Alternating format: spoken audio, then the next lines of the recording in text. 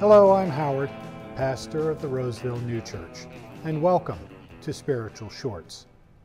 After a three week midwinter break, we are back. Well, sort of. With a resurgent pandemic and an increasing number of community spread infections of COVID 19, the greater Sydney area is under a very strict lockdown. Over the last several weeks, I've done very short spiritual shorts. I'll call them spiritual short shorts. But with our inability to return to in person services, I will return to my longer 10 to 15 minute episode. You know, lockdowns can be very challenging, particularly if you are alone. As I can myself attest, too much time alone can give some serious space for evil spirits and head bullies to go to work on each of us.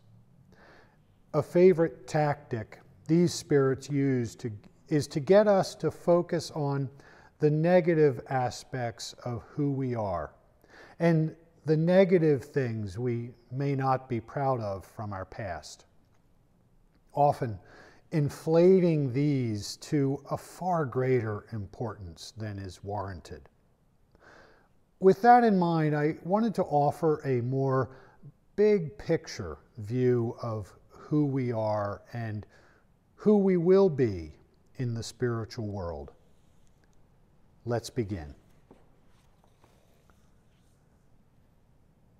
The Lord is in his holy temple. Let all the earth be silent before him. Let us pray. Our Father, who art in the heavens, hallowed be thy name. Thy kingdom come, thy will be done, as in heaven, so upon the earth.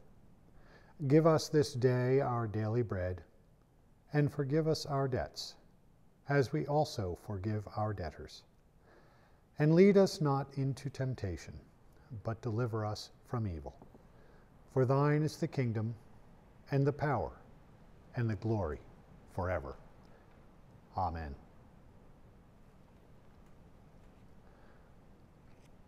We have two lessons today. Hear the word of the Lord as it is written in the book of Revelation.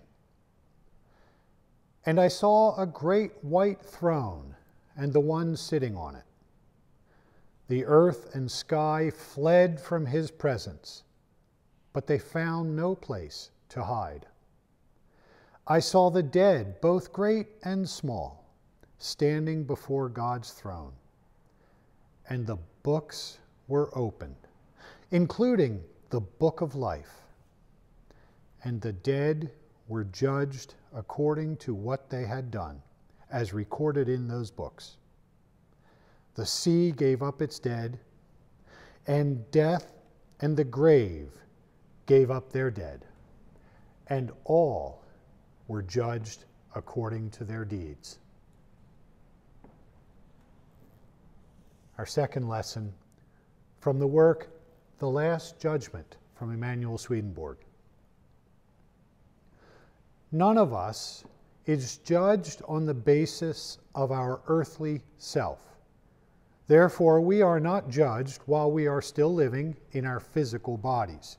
We are judged on the basis of our spiritual self. So, our judgment occurs when we have come into the spiritual world. It is our spiritual nature that is judged, not our earthly nature which is simply a tool or an instrument through which the spiritual self acts.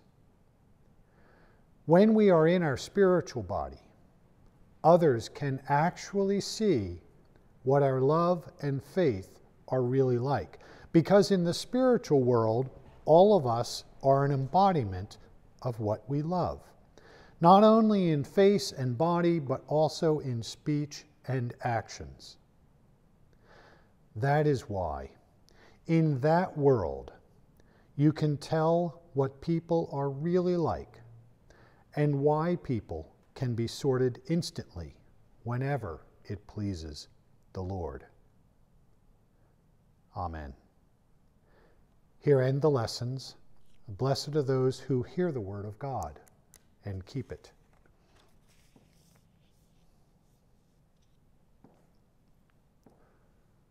So, who are you? Well, who, who am I? And who are you to me? Who am I to you? The Irish writer Oscar Wilde wrote only one novel in his career The Picture of Dorian Gray. The work, an archetypal tale of a young man who purchases eternal youth at the expense of his soul. It features a painting of its main character in all his youthful beauty and vibrance. Not to spoil the plot, but Dorian's bargain was that he would forever remain the youthful appearance captured in the painting, while the painting would age. Susceptible to being drawn into all manner of evil and sin, Dorian began to notice that age wasn't the only thing the painting was showing. Dorian's deception, immorality, and debauchery were now appearing as horrible disfigurations of the man in the picture. Dorian comes to understand that more than a simple portrait, the picture of Dorian Gray was a representation of his soul. Rocked by this revelation, Dorian attempts to wrestle with his inner demons, desiring to change his ways. After some time, Dorian feels he has made some apparent successes in changing his ways and visits once again the painting to see if there are any improvements in the appearance of his soul. Gazing at the picture, Dorian is horrified to learn that far from improving the picture, the picture has now acquired a look of cunning. He decides to destroy the painting, tears through it with a knife. His servants hear a scream. And when they enter the room, they find a loathsome old man dead on the floor with a knife in his chest and a portrait of the beautiful young man he once was.